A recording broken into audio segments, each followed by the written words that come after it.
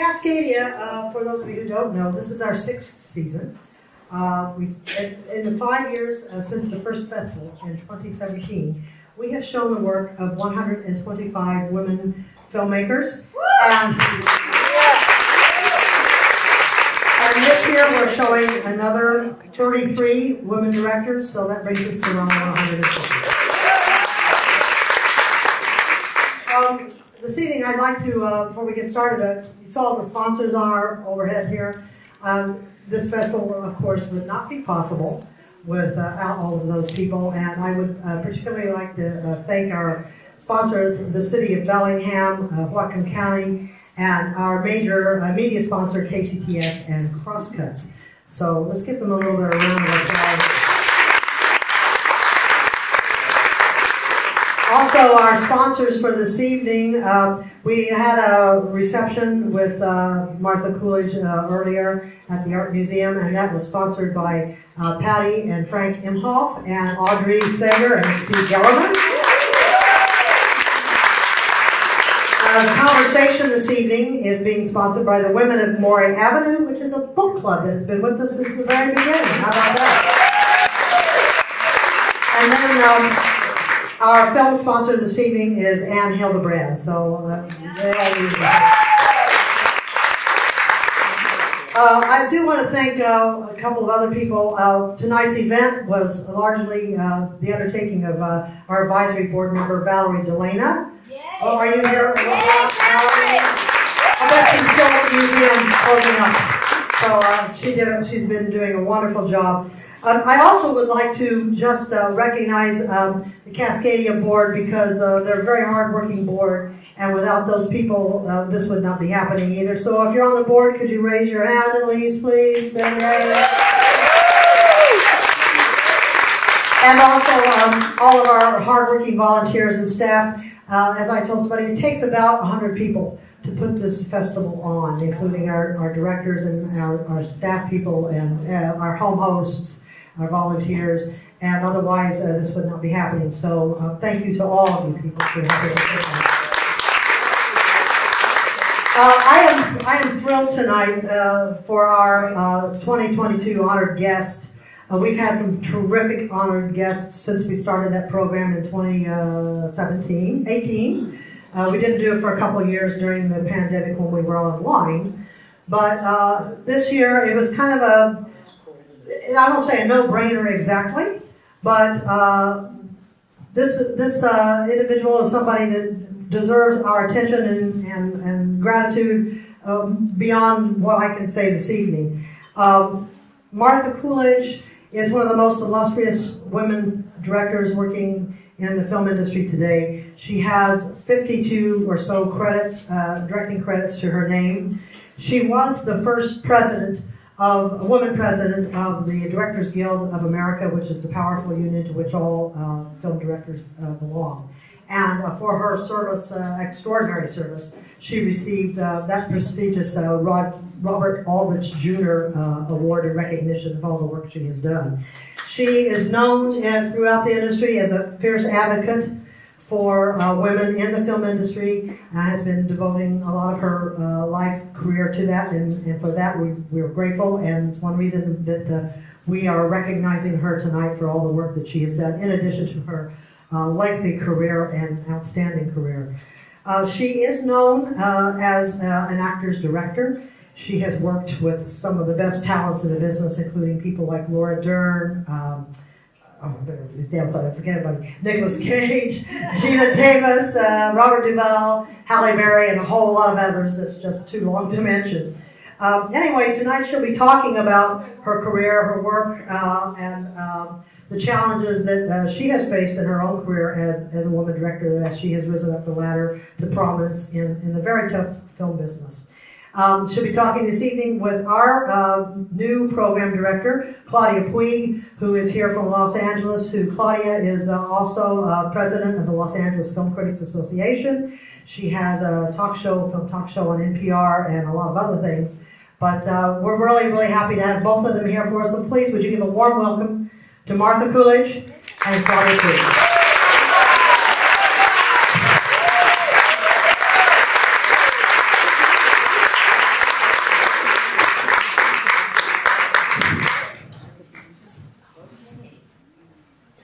brought our own water. It's not vodka. Um, This is such an honor. Oh, it's an honor to be here. It's an honor to. Yeah, they're not working. Oh, do we have to turn these on? Oh, right. There. Okay, there we go. That's better, right? Yes. Okay, good. So, uh, Cheryl stole some of the stuff I was gonna say, but. Oh, dear. Um, it's, some awards you have, uh, you're, you're amazing in having discovered Nicolas Cage and Val Kilmer and your film has, your films have won Emmy nominations and IFP awards and of course you were the DGA president. You have a career that has spanned over 40 years, which is amazing, and you've paved the way for so many other women. You were the first DGA president, female DGA president, and now we have another one. Yes, there's a second. Yes, so that's great. It was, and it was a few years before a second came along. but- Just a few, Yeah. yeah. Um, so you've opened the door for women directors in Hollywood. I, I feel like, you know, you, Well, I think the other women opened the door too, so it was, we, there have been women around. well, you, in terms of big budgets and rising stars. Yeah. And that, you know, that, I feel like you, you started something, it's growing, but how do you look at the landscape now? Well, this is a, a peculiar thing to say. I don't want to sound grumpy at all. Uh, but um, it, it, it's not very different, uh, except that there are women being hired. And there are many women who've gained experience and are gaining experience all the time. And one of the biggest problems for women getting into the business was not having experience. So we've beaten a big, a big number there of people who just didn't have enough experience to get hired. But it is, it is not that different. So it's good. I, I mean, it's better. There's definitely people being uh, honored and there's definitely people being hired and working on various shows, but there's still shows that have never hired a woman and probably never will. But uh, it, it is, uh, it, it- it isn't that it's easy, Right. but this isn't an easy business. So, so some strides have been made, but there's still a very long way to go. Yeah, there is, and, and it's not an easy business. Right, for anybody. Yeah, for anybody. So I was really intrigued when I was looking at biography. Uh, let's go back to the beginning when you first decided to become a filmmaker. You were going to RISD, right? The Rhode Island- right, Right, Rhode Island College right. of Design. So what? And they didn't have a filmmaking major. No, but RISD being an art school, uh, had teachers who were very swept up in film and cameras and all of that. So what they did is in the beginning uh, of this sort of Bauhaus structure, in the first year, you do everything, basically. You do learn a lot about everything, including binding books and things like that. So uh, we did a thing called two-dimensional design, and then we did three-dimensional design. And what they did is, oh, they're just professors who wanted us to work with cameras and building three-dimensional things, and and then um, basically doing uh, paper montages, but but actually making it move. So we did a lot of film, and they were really swept up in it, and that that that just increased our interest in it, and people wanted to go into film. So what I did is I took them seriously. Somebody had mentioned that if you had a good enough grade, you could get uh, an independent study program and then study what you wanted. So I went to them and said, okay, I want to be a film major and I want to take my independent study and put it into film. And I bought a camera and then um, I had a proposal for of a film to make and it was, it, I did it, I sold them to, on it and I went and cast this film and shot it and did all that, but it was kind of lonely because I was not in a class.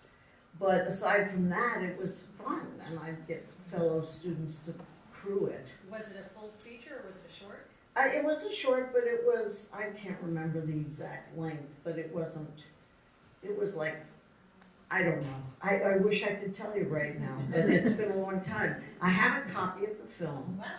and uh, it was a very. It was the story of Demeter and Persephone.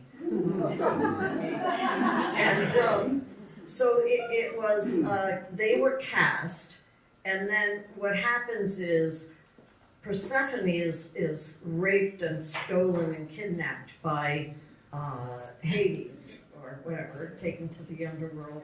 So Demeter goes after her and then disguises herself as an old lady and, you know, kind of whispers in her ear and stuff. But when Demeter escape, when Persephone escapes from the underworld, it gives birth to everything on earth, and all the plants uh, grow, and buds are coming up, and so I I somehow rented all these biological films because I love biology. So I and I copied all these plants growing. I mean, I filmed some of these sequences and cut it together with footage I shot. And so when she was freed from Hades, all these plants go up. It was a pretty crazy film. And, uh, well, yeah, and uh, but it was good, and somebody, I don't know, somebody saw it and thought that I would done sort of a Christ movie. That was very interesting, um, especially considering it's based on older than Greek mythology. But okay, and uh, it was really, it was good. And I decided to leave RISD and, and then try to make films. Excuse me, make films in New York. And you then you made documentaries in New York, right? I did. I made documentaries in New York. I worked in commercials. Uh, I attended Columbia, which was disappointing only because I was excited. There I was in Columbia, graduate school, and uh, but they shut down because of the student strikes, and so we were going to free classes where our professors were doing things in their living rooms where we go and we discuss education. And uh, that was interesting, but not quite what we were interested. And then, um, but I applied to film school for graduate school at NYU. And I was interviewed by uh, Mr. Scorsese's favorite professor. Wow. And he had said to me, and how long have you wanted to be a director? And I was trying to talk to him. I said, what, what makes you think you can be a director? And I tried to explain that I knew I was a storyteller and a director. I'd been one all my life. And, uh, but he didn't seem to think that sold him. He'd say, yeah, but there are no women directors. and I just looked at him. It never occurred to me to think I could be a director because there weren't any.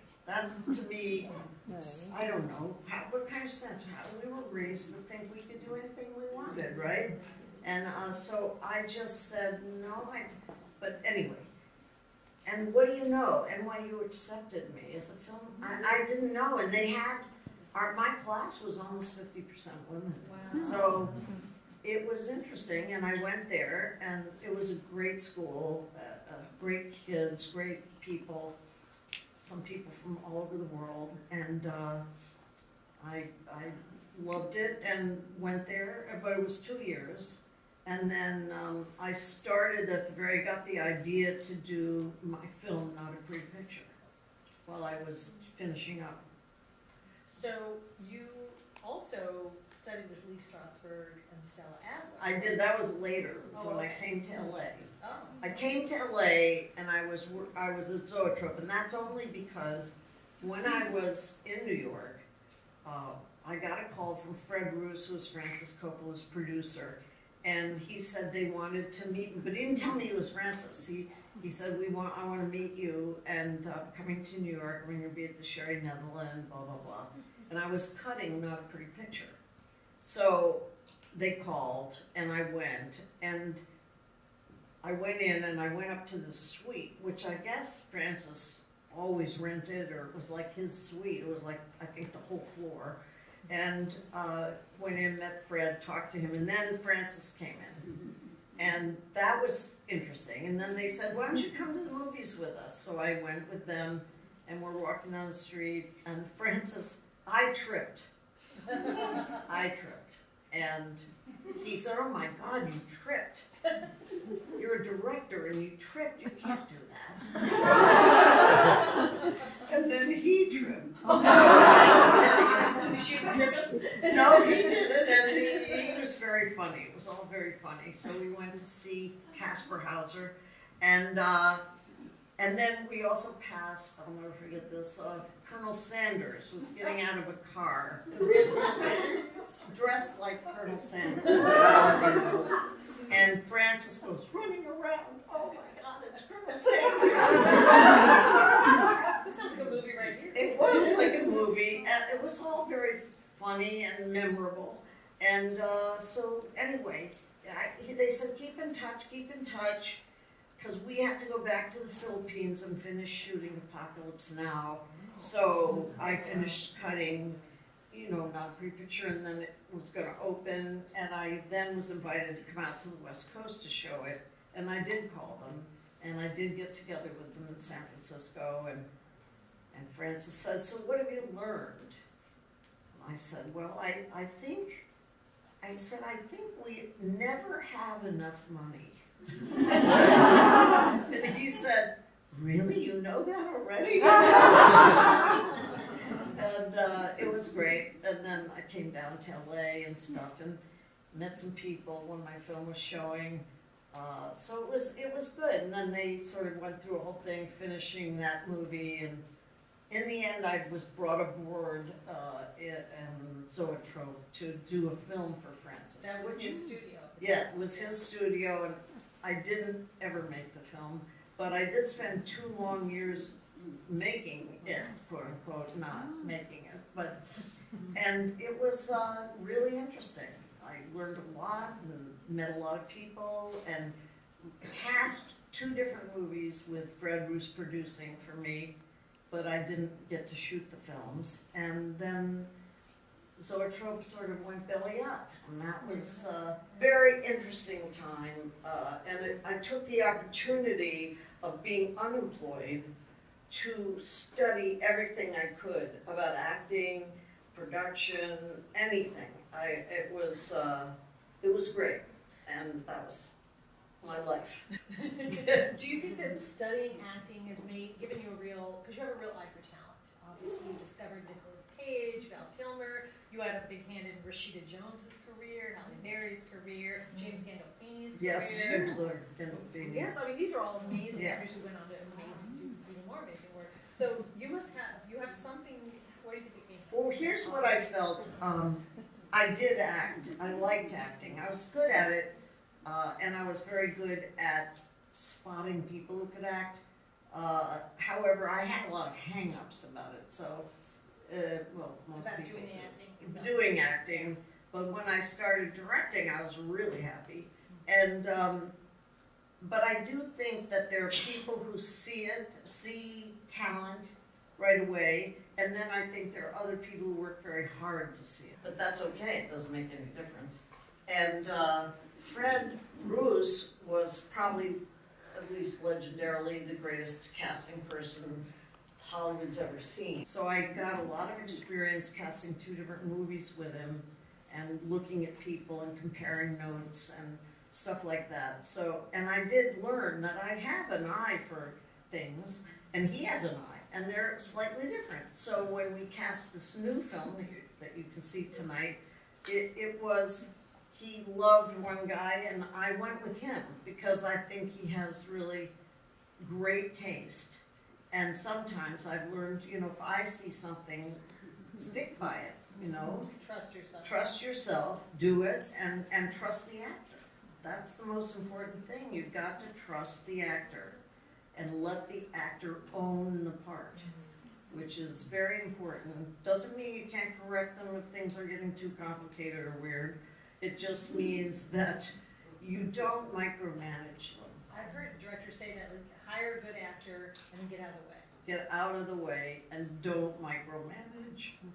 And I'd say that's true of everybody. Yeah. But you can easily hire a person, I mean, acting is another thing, but even a camera person or anybody, and, and you can sort of lose faith in them, mm-hmm. and then you micromanage them, but that, you're not really a sound person, you know, you're not really a camera cinematographer, so it's, there has to be another way to encourage them, uh, and, and, and, and give them a pep talk without trying to pretend you can do it better. Well, it's, it's interesting because with the exception of the film that we're about to see, I'll Find You, which you made, what? Well, I started in fifteen, yeah. Um, and you've been working a lot on TV? I did, uh, after a certain point, did work some in TV because there really, nobody was making the kind of features that I was making. And, uh, and also there really was a great opportunity in television, as long as you got a good job, that you could change genres Yes. and do things you'd never done before. Yeah, And I really enjoyed that. and it seems, I've heard people say that it's a little more open to women. Is that true? Um, whew. here's the problem. I was the chair of the Creative Rights Committee, so I heard everything. Uh, I heard all the problems everybody was having, so I don't know. I, that's not from the way I heard it, but there are more people hired. So there's more room for women. I, maybe I've heard it more about acting. Like as women age, you you can see them more on TV, where in the movies a little less. Well, I suppose, but you know what? It isn't like they just make more parts for women.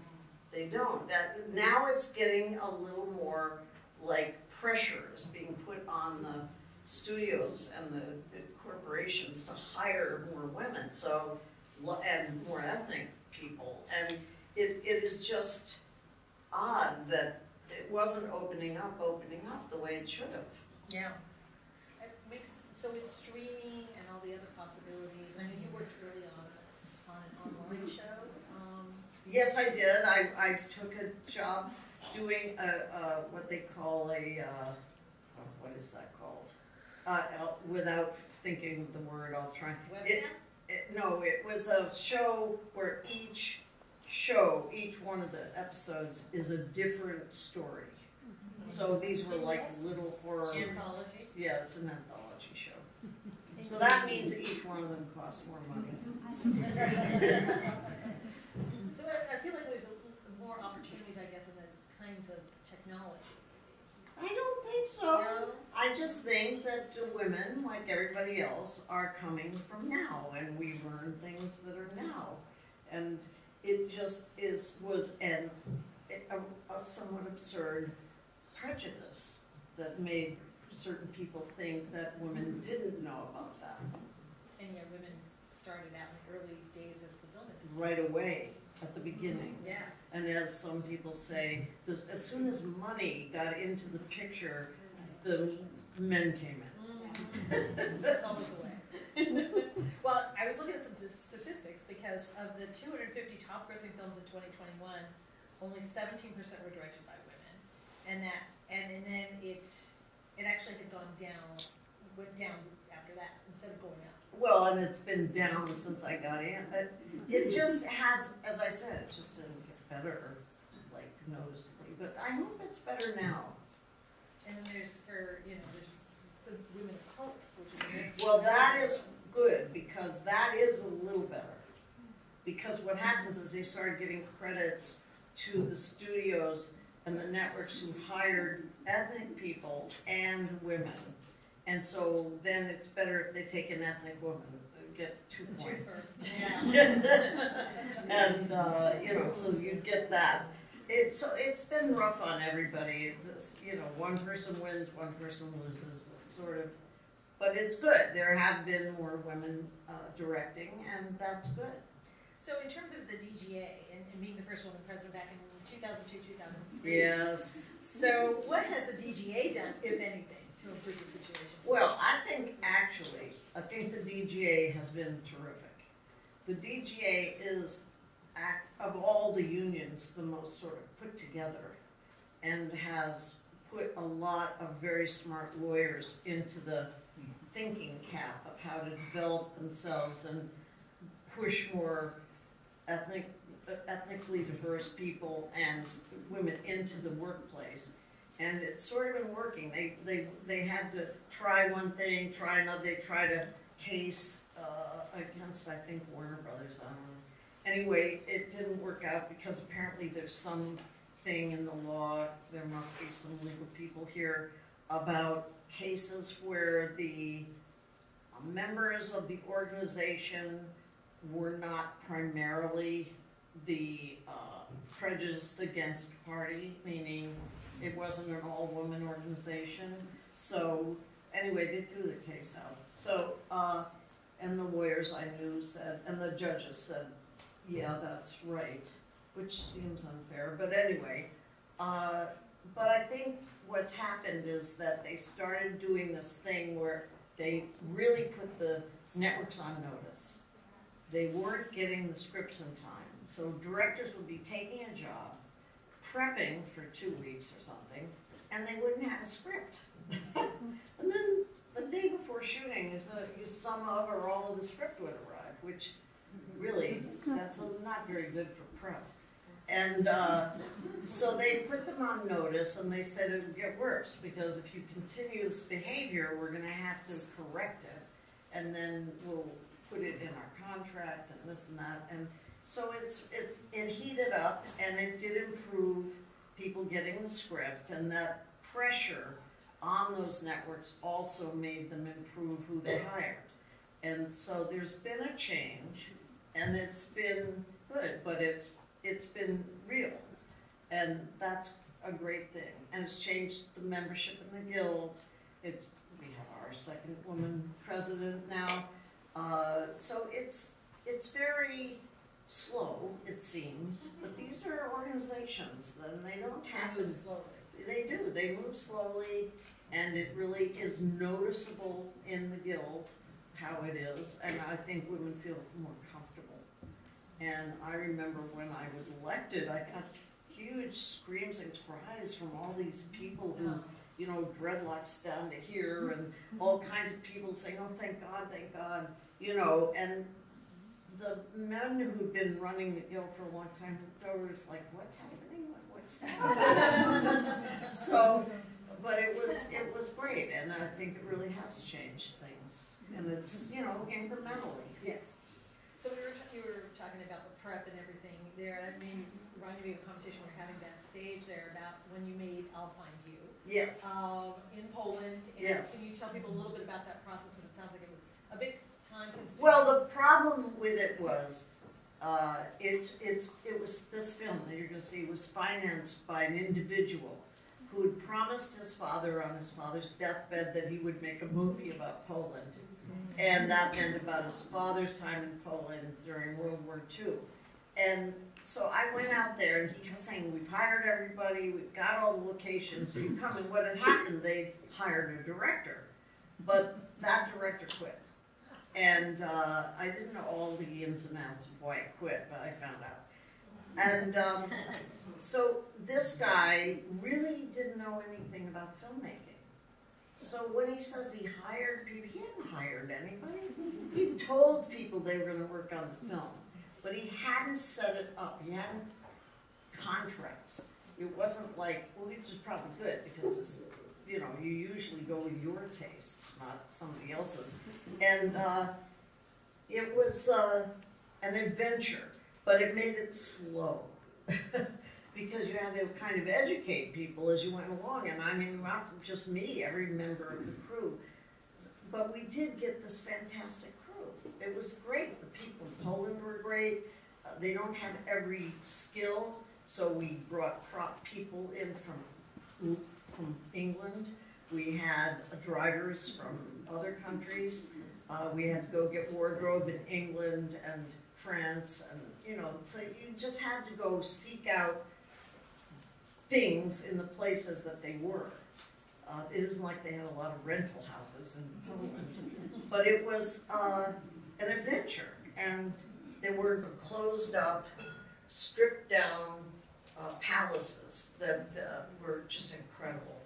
And so we went and pieced together all these different palaces, and put them together, dressed them up, and put them in the movie. And uh, it was it was an adventure. The only thing that happened in both cases were you have actors from all over the world. We hired actors from everywhere, except America. There are very few Americans in the movie.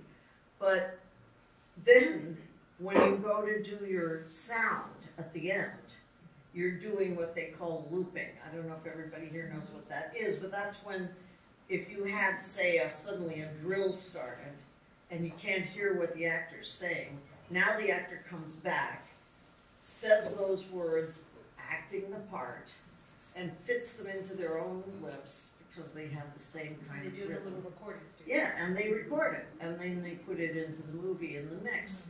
And what happened with uh, uh, both films is it went over a hundred thousand dollars in looping, which is a lot of looping.